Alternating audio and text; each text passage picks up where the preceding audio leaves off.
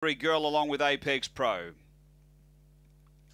Light on, ready to go. Best of luck, punters. Race 10, last here at Gawler, and we're set. Ready. On their way, Speed Swansea Siri in the early parts, going to carve over and grab the front.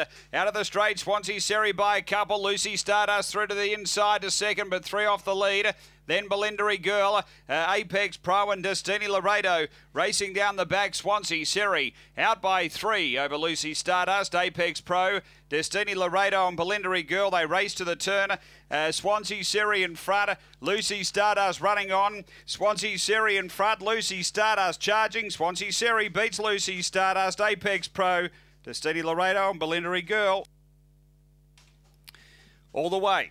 Swansea Siri number four. Able to jump through, grab the front, and has been too good here.